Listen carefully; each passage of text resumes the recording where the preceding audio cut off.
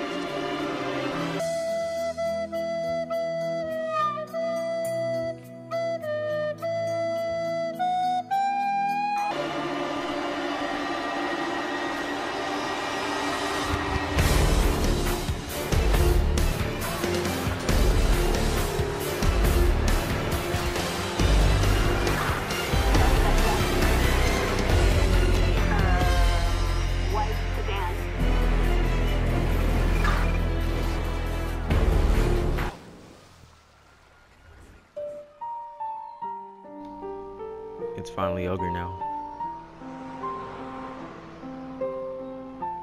A black man who committed genocide.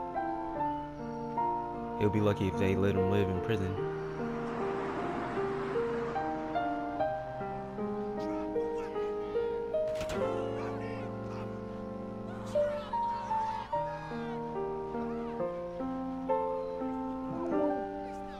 Franklin, wait. Wait. Nope.